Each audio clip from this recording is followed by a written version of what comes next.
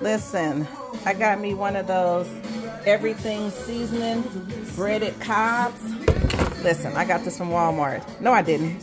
I go to Walmart so damn much, I forgot I didn't get this from Walmart. Anyway, I got this from Costco. It's a breaded, everything seasoned breaded cod. I'm going to try this out. Anyway, this is my little lunch right here. My watermelon, my pineapples, my little clam chowder soup, my hot lemon uh, water, and my water for today. Yeah, I've been on this little thing because I got to drop, you know, I've been doing these reviews. I got to get rid of this. So I've um, been on this all week. I'm down three pounds. Let's go.